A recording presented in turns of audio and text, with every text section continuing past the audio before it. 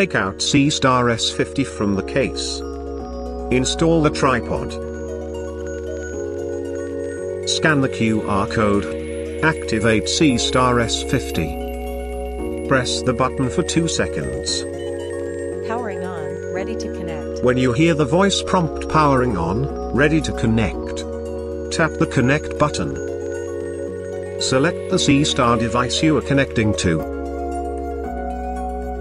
Follow the app's prompts to complete the device connection. Once the connection is confirmed, the Seestar app will automatically connect to the internet and activate the device. If the connection fails, follow the prompts and retry, or try connecting to Seestar's Wi-Fi manually. Select Seestar's Wi-Fi and connect. Wait a few moments for the device to connect. Connection successful. Key features and usage of Seestar app. The layout of the app is vertical. Some functions can be used without connecting the device. Device management. Tap the connect button to initiate the connection. The device name will be displayed here after connection. Observation Center, Weather. Includes moon phase illustration, percentage of moon's illuminated portion, temperature, cloud cover, sunset time, moonset time, etc. Observation mode. There are four observation modes. Stargazing mode, solar mode, lunar mode, scenery mode. Recommend. Tap to open the article page.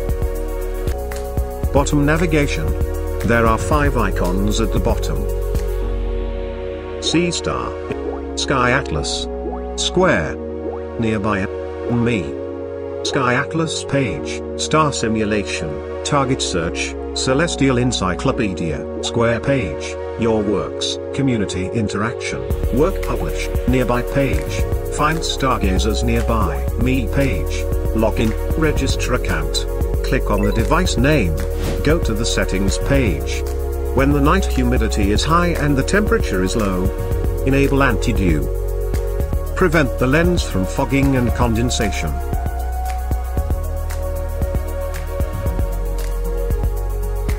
Device volume adjustment. Firmware update. And power off are all set in this page. When device not level, go adjust is displayed. Please fully support the tripod. Adjust the height of each leg until the two circles coincide. The level affects the tracking accuracy. Less than 3A degrees is acceptable.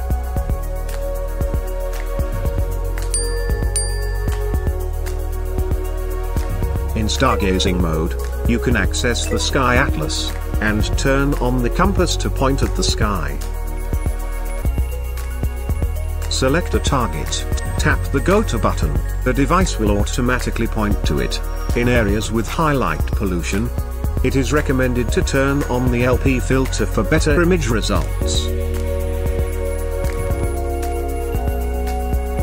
Direction control.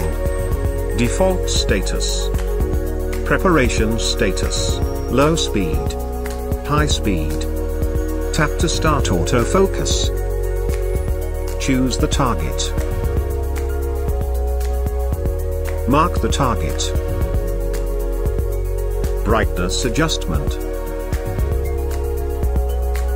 Tap the shooting button to automatically enhance the image.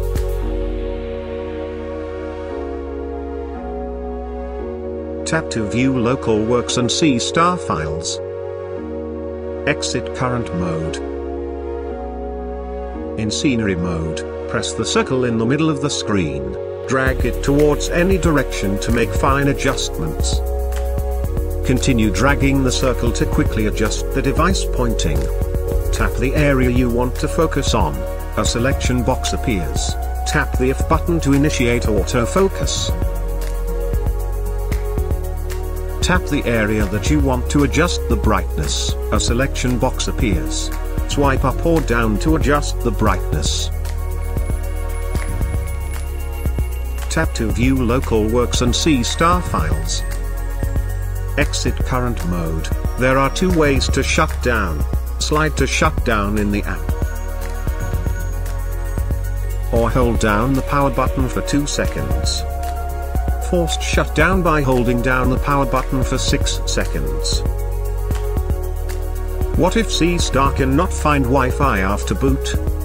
Enable the Wi-Fi reset button at the bottom. Hold down for about 3 seconds. How to tear down the battery from the device. Remove the cover plate to replace the battery. How to install the solar filter. Adjust the S50 lens to ensure the sun is outside the field of view. Install the solar filter in the front filter port.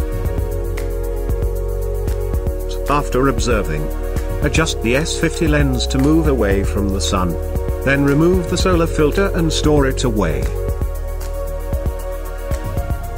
If you have any problems, please feel free to contact us.